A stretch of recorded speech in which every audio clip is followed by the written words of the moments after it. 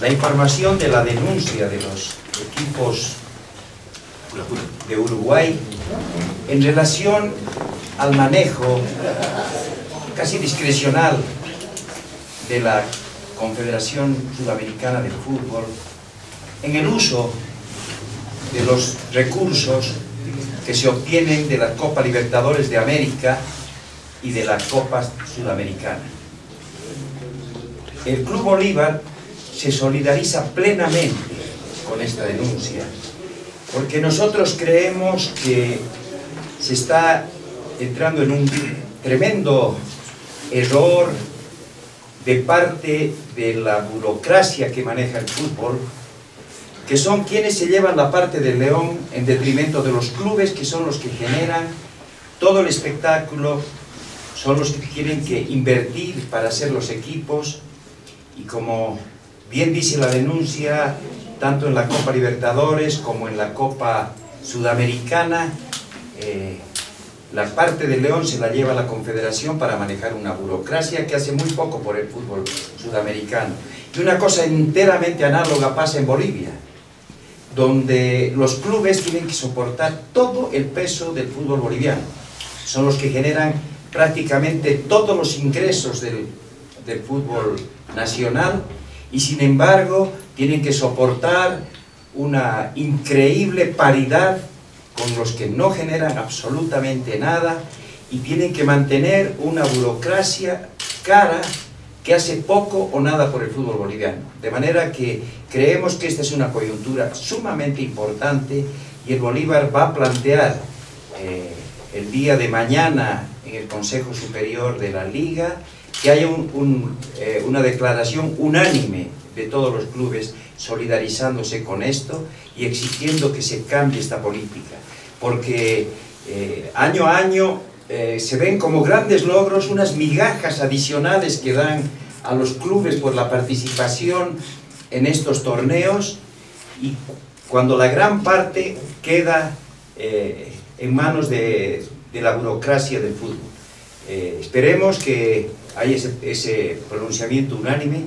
Si no es así, será el Bolívar y los clubes que estén a favor de esta, de esta posición los que enviemos nuestra solidaridad a los clubes de Sudamérica que ya se han manifestado en este aspecto. Perdón, ¿debería ser Ministerio de la Federación Boliviana de Fútbol también de pronunciarse sobre este tema de los manejos económicos por parte de las competencias de la Copa Libertadores como la Copa Sudamericana? Totalmente. Yo creo que ellos son absolutamente corresponsables de, esa, esa, gestión. No vamos a decir que solamente el, el presidente. Y lo que yo quiero es que se haga un análisis enteramente análogo acá, sobre qué es lo que se genera en el fútbol por parte de los clubes, a través de la liga, a través de la, de la selección boliviana, y qué es lo que se les devuelve a los clubes por ese, por ese servicio. Y por qué hay esa paridad eh, en votos cuando no hay la misma paridad en la generación de recursos para el fútbol boliviano. Don Guido, buen día. Acá en casa, ¿cómo se puede cambiar este aspecto? Es muy fácil. Lo que ahora está mostrando es eso. Acá también hay que ver exactamente lo mismo.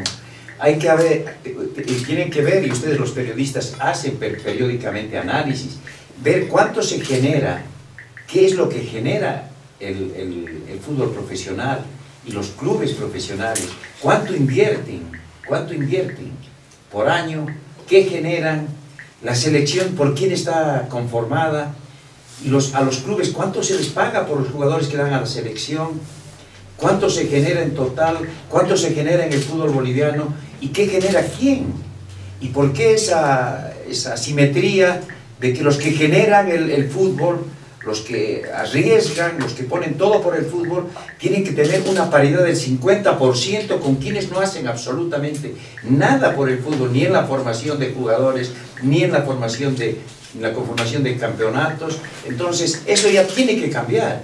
Este llamado del, del fútbol internacional nos hace ver para que dentro de casa es la misma injusticia la que se opera. Haciendo un análisis, ¿esos porcentajes se deben cambiar acá en casa? Claro, acá debe ser 70% el, el, fútbol profesional y 30% el, el fútbol amateur, porque además nosotros debemos tener más recursos para también formar los jugadores que nos, es prohibido.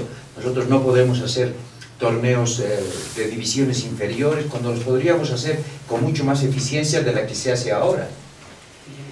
Miren, yo soy muy escéptico en cuanto a las soluciones que nazcan de dentro del fútbol. Soy muy, muy escéptico. Porque si mañana hacemos una, una votación como las que hacemos periódicamente sobre cualquier cosa, siempre la votación va a ser eh, por mantener más de lo mismo.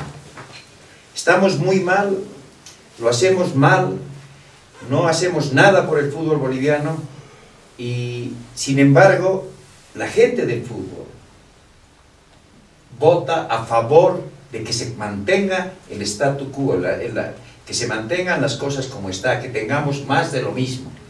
Entonces, yo soy muy escéptico de las soluciones dentro del fútbol. Yo creo que eh, el país en su conjunto, donde el fútbol es un elemento que transversaliza, tiene una idea muy clara de, de la forma en que se maneja el fútbol y de los cambios que se deben operar en el fútbol. Entonces yo creo que eh, tiene que ser el Estado primero, la prensa, el periodismo después, los distintos eh, estamentos de, que están ligados al deporte, los hinchas, eh, el aficionado y los clubes los que tengan que discutir este tema si queremos sacar al fútbol del ostracismo en el que está.